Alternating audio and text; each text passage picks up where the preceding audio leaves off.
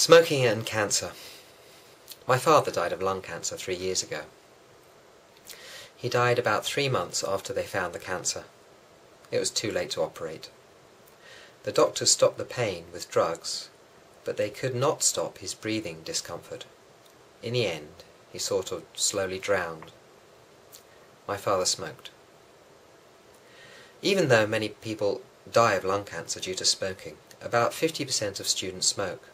It's cool to smoke. Lung cancer kills more people than any other cancer. Once discovered, it is usually fatal, and it kills people who are still quite young. My father was 50 years old when he died.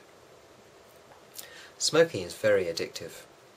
Most people who start to smoke start young because it is only young people who think that they will never die. Most smokers do not give up until they become ill from smoking. When my father died, he made me promise that I would not smoke. He did not know that I'd already started smoking. Even though I saw him die, it took me one year before I stopped smoking completely. In most other countries, people smoke much less because there is a greater awareness of the danger. Smoking is a bit like committing suicide, slowly and in the end painfully. Even if you don't mind dying, I recommend that you choose another way to do it.